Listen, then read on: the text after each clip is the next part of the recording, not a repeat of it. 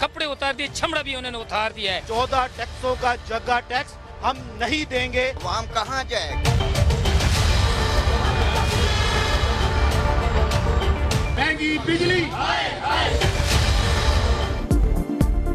अवाम की चीखों पुकार इकतदार के वानों में पहुँच ही गई। बिजली बिलों में रिलीफ कैसे दे? निगरान वजी अजम की जेर सदारत हंगामी बैठक आज होगी।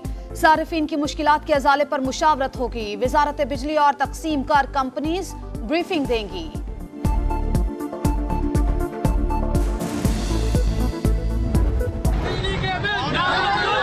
अशरफिया का मुल्क नहीं है। हाँ, ये जो अफरशाही है जिनके ये एसी चल रहे हैं जिनके ये सारे मामला चल रहे हैं वो उनको आप फ्री दे रहे हैं और हमसे ये वसूल कर रहे हैं। गवर्नमेंट जो है कर्जे लेती है खुद खाती खुद है और वसूल हमसे करती है। क्यों? देखें मेरे यूनिट कंज्यूम होते हैं 136 और हमारा बिल आता है बानवे सौ बीस रुपए। एक वापडा का मुलाजिम है उसके यूनिट कंज्यूम होते हैं 526 और उसका बिल आता है तीन सौ चौसठ रुपए। हम कहाँ जाएँ? महँगी बिजली। थोड़ी कमाई वालों की महँगी बिजली की दुहाई। दो वक्त की रोटी खाएँ या भारी भरकम बिल दें? फैसलाबाद में शहरी सड़कों पर बिल जलाकर दिल की भड़ास निकाली उकाड़ा में भी अवाम कपा रहा है। मालाकंड में महँगाई के सताए लोगों का बिल अदा न करने का ऐलान। इजाफी टैक्स वापस लेने का मुतालबा। नूरपुर थल में भी एहतजाजी रैली।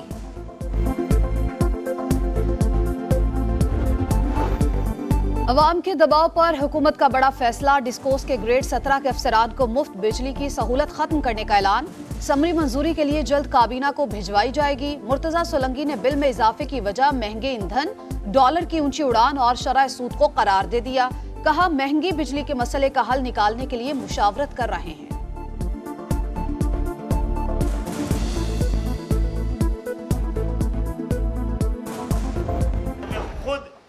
इस हवाले से किसी इकदाम का ऐलान करना पड़ेगा। बस बहुत हो गया। एमकेएम का महँगी बिजली के खिलाफ तहरीक चलाने का ऐलान। खालिद मकबूल सिद्दीकी ने फसादात का खदशा ज़ाहिर कर दिया। कहा, अवामी मुश्किल के पेश नज़र एहतजाज का हिस्सा बनने पर मजबूर होंगे। बिजली के बिलों में फौरी रिलीफ दिया जाए। फारूक सतार बोले, मुल्क सिविल नाफरमानी की तरफ़ जा रहा है। लोगों में बगावत का रुझान आ रहा है। यही हालात रहे तो फिर रियासत के अंदर कई रियासतें बनेंगी।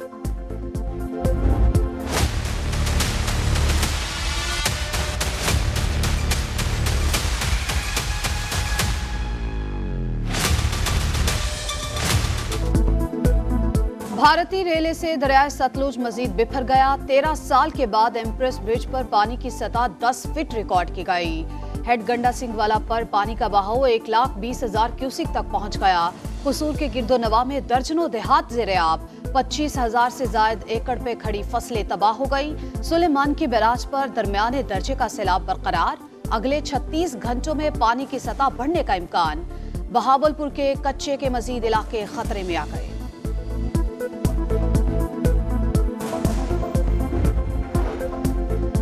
निगरान वज़ीर अजम से बलूचिस्तान के कबायली अमायदीन की मुलाकात। अनवार हक काकड़ का सूबे के मसाइल हल करने के लिए तमाम तोानाइयाँ सर्व करने का अदा कहा। बलूचिस्तान में बैरूनी सरमाकारी ज़रिए और सनती तरक्की रोज़गार की फराहमी तरजीह है। पाकिस्तान की तरक्की बलूचिस्तान की तरक्की के बगैर मुमकिन नहीं। बलोच नौजवानों को तरक्की के यकसा मौके फराहम करेंगे।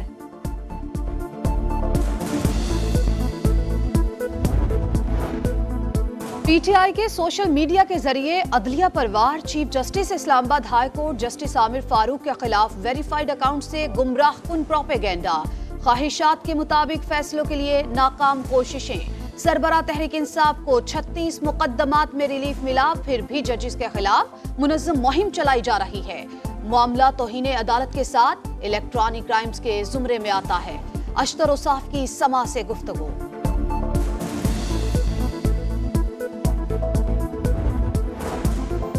नौ मई के वाकयात बड़ा केस लग रहा है। तहरीक इंसाफ को क्रिमिनल पार्टी करार देकर रास्ते बंद कर दिए जाएँगे। परवेज खटक ने साइफर को जलसों में दिखाना बड़ी गलती करार दे दिया, कहा। काबीना इजलास में हमें बंद लिफाफा दिखाकर दस्तखत कराए गए थे।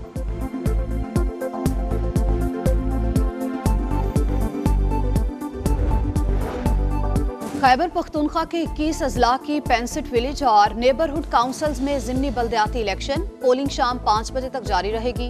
तीन लाख पचासी हज़ार से ज़्यादा वोटर्स हक राय दही इस्तेमाल करेंगे। एक सौ उनसठ पोलिंग स्टेशन हसास तरीन करार दिए गए। सिक्योरिटी से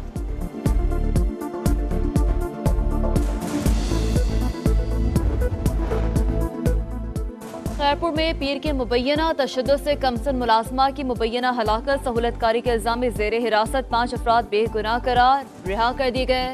रिहाई पाने वालों में सबक एस एच ओ सबक एम एस रानीपुर अस्पताल, डॉक्टर और सैनिटरी वर्कर शामिल। मोटरवे पर सफ़र करने वालों के लिए बुरी खबर, टोल टैक्स में इजाफा, लाहौर से इस्लामाबाद तक ग्यारह सौ रुपए अदा करना होंगे। मुसाफिर वैन दो हज़ार पाँच सौ नब्बे और बस तीन हज़ार छह सौ नब्बे रुपए अदा करेगी।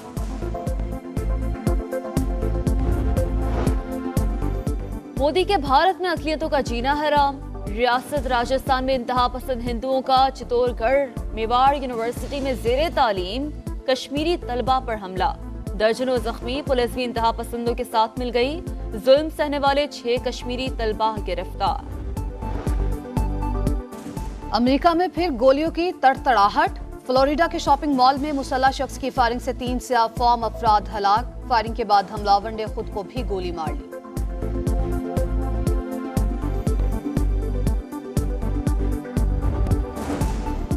बरतानवी हाई कमिश्नर की लाहौर के कजाफी स्टेडियम में किट पहनकर क्रिकेट खेलने की वीडियो वायरल। खिलाड़ियों से भी मुलाकात।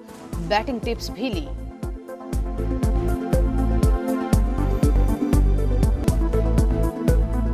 वनडे क्रिकेट में शाहीनों की बादशाहत कायम। आलमी रैंकिंग में पहली पोजीशन पर कब्जा। पाकिस्तान ने तीसरे वनडे में अफ़गानिस्तान को उनसठ रन से हराकर व्हाइट वॉश कर दिया। दो सौ उनहत्तर रन के हदफ का ताकुब करती अफगान टीम। दो सौ नौ रन पर ढेर। शादाब खान की तीन विकेटें, मोहम्मद रिजवान, मैच और इमामुल हक सीरीज़ के बेहतरीन खिलाड़ी करार। कप्तान बाबर आज़म नंबर वन बनने पर अल्लाह ताला के शुक्रगुजार। बर्मिंघम में पाकिस्तान ने भारत को धूल चटा दी। कौमी ब्लाइंड क्रिकेट टीम ने फाइनल में रिवायती हरीफ को हराकर गोल्ड मेडल अपने नाम कर लिया।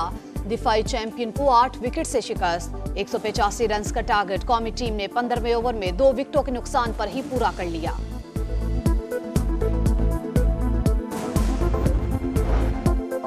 वर्ल्ड एथलेटिक्स चैंपियनशिप में मेडल की उम्मीद। पाकिस्तान के अरशद नदीम जलन थ्रू के फाइनल में आज इन एक्शन होंगे। अरशद नदीम ने कहा है कि नीरज चोपड़ा या किसी और के साथ मेरा कोई मुकाबला नहीं।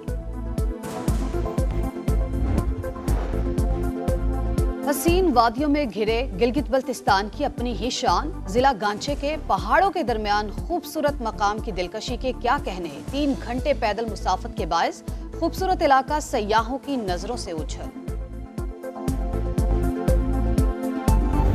ये वर्ल्ड कप आपको लगता है बाबर लेकर आएगा? पूरी कोशिश करनी चाहिए जो भी जाए अल्लाह करे वो इनशाला कप लेके और मुझे पूरी ज़रूरत है इनको इस दफ़ा? मेरी ज़रूरत तो इनशाला हमेशा रहेगी। प्यार नहीं हुआ सीए का एग्ज़ाम हो गया कि 10 साल हो गए क्लियर ही नहीं कर पा रहे। और क्रिकेट के हर फॉर्मेट में मुनफरद अंदाज। नाम है इनका अहमद शहजाद। समा के मकबूल प्रोग्राम में हद कर दी। आज के स्पेशल गेस्ट वर्ल्ड कप में जीत के प्लान पर भी होगी खुलकर बात।